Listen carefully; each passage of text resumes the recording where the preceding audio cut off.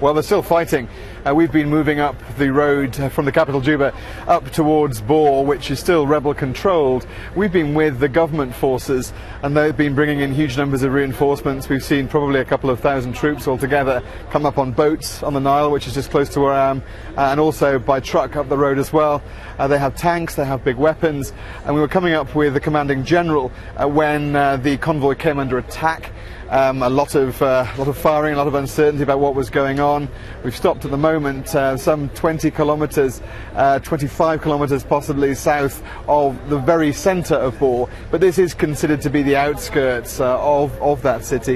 It, it's complicated because um, it isn't just a ragtag group of, of rebels, uh, of civilians with guns, although there is an element of that. Uh, it's actually um, a part of the army, a whole division of the uh, South Sudan army that split off and joined the rebel side.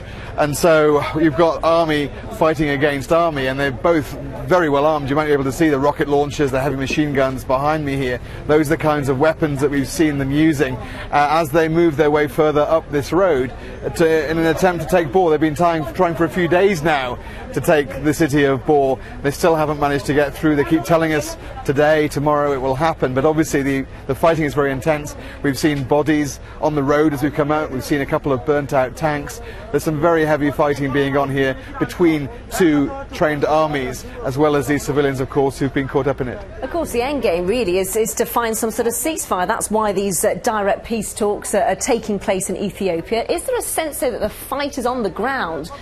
Whether some sort of deal is uh, negotiated, will listen to their leaders. Well, yes, I mean, they will listen to their leaders. I mean, this is a, a, for, um, a, proper army that's here, and again, on the rebel side, perhaps a little looser in that sense. Um, but both have sent mediation, um, negotiators, sorry, to the mediating group in Ethiopia to try and come to a peaceful solution. But at the same time, there's no ceasefire. Both groups on the ground are still fighting, both here and Bentiu, which is further up in the north. Uh, that's another area that's held by the rebels. So I think until a ceasefire is actually agreed on and signed upon, then both both sides militarily are going to try and keep going so that when that ceasefire begins and negotiations start from there, um, they're in a stronger position.